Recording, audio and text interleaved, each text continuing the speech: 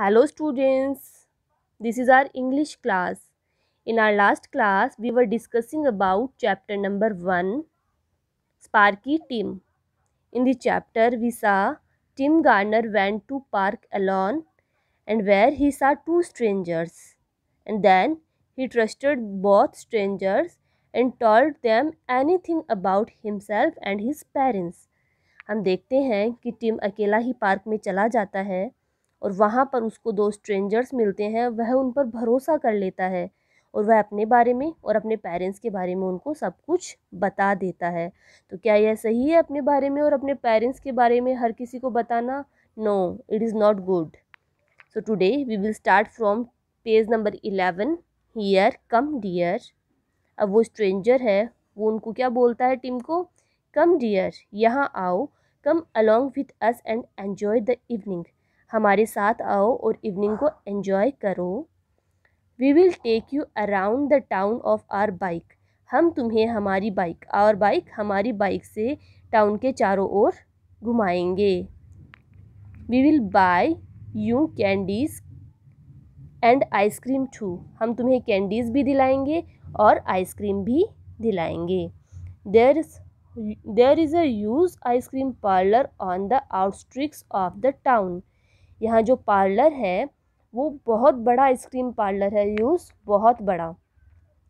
On the outskirts of the town जो town है, उसके, जो टाउन है, उसके अंदर ही एक बहुत बड़ा आइसक्रीम पार्लर है। वी विल गो देयर हम वहाँ जाएँगे। And you can enjoy eating your favourite flavour और वहाँ पर तुम क्या एंजॉय कर सकते हो? अपना फेवरेट फ्लेवर है, जिस भी तरह की आइसक्रीम तुम्हें पसंद है, वह तुम वहाँ खा सकते हो। सेड द टॉल मैन, जो लंबा आदमी था, उसने कहा, जो स्ट्रेंजर्स है, वो उससे बातें करने लग जाते हैं टिम से और वह उसको अपनी बातों में लेके उसको बाहर घुमाने की बातें करते हैं। Wiping off his tears and pampering him wiping off मतलब उसके जो आँसू है, उनको पोसते हुए एंड पैम्परिंग हिम और उसे लाड प्यार करते हुए the two strangers to him for a bike ride two strangers, दो अजनबी थे दोनों, वो उसको कहाँ लेके जाते हैं? बाइक राइड, बाइक पे घुमाने लगते हैं and promise to buy him candies and ice cream और प्रॉमिस करते हैं कि वह उसे कैंडीज़ भी दिलाएँगे और उसे आइसक्रीम भी दिलाएँगे। Tim did not realise that going with strangers could put him in danger in trouble did Tim did not realise Tim को यह महसूस भी नहीं हुआ दैट गोइंग विद स्ट्रेंजर्स अजनबियों के साथ जाना could put him in trouble उसे खतरे में डाल सकता है, संकट में डाल सकता है। टिम उनके साथ जाने के लिए रेडी हो गया और वह उनके साथ चला जाता है। टिम को यह पता भी नहीं होता कि अजनबियों के साथ जाना बहुत मुसीबत वाला होता है, उसको मुसीबत में डाल सकता है। वैन इट बिकेम डार्क जब अंधेरा हो गया there was total silence at home घर पर बिल्कुल सन्नाटा था साइलेंस शांति थी, सन्नाटा था, चुप्पी थी। Abby realise that she had not seen Tim around since evening Abby ने रियलाइज़ किया, महसूस किया दैट कि she had not seen Tim उसने टिम को नहीं देखा है अराउंड सिंस इवनिंग इवनिंग से शाम से उसने टिम को अभी तक नहीं देखा है। With a candle in her hand अपने हाथ में कैंडल लिए हुए शी लुकड फॉर हिम उसने उसको देखा at each and every place in the house अपने हाथ में कैंडल लेकर एबी ने उसको घर के हर जगह ईच एंड एवरी प्लेस हर जगह है इन द हाउस घर में घर में उसने हर जगह देखा.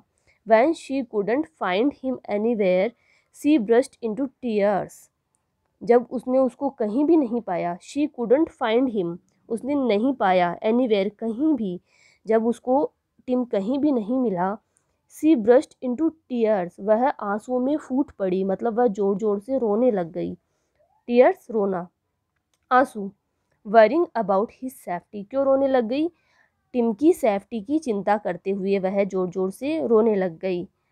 How much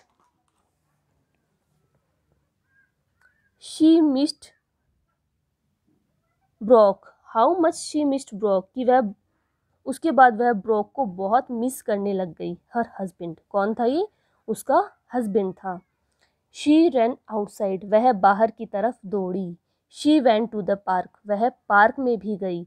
In every possible street and other places where Tim go where Tim could go वह हर उस जगह स्ट्रीट सड़क, वह हर उस सड़क पर गई, हर उस जगह पर गई जहाँ पर टीम जा सकता था। बट ऑल इन वेन लेकिन सब व्यर्थ था। इन वेन बेकार। लेकिन सब बेकार था। इसका मतलब उसको टीम कहीं भी नहीं मिला। क्यों नहीं मिला? क्योंकि टीम तो स्ट्रेंजर्स के साथ चला गया था।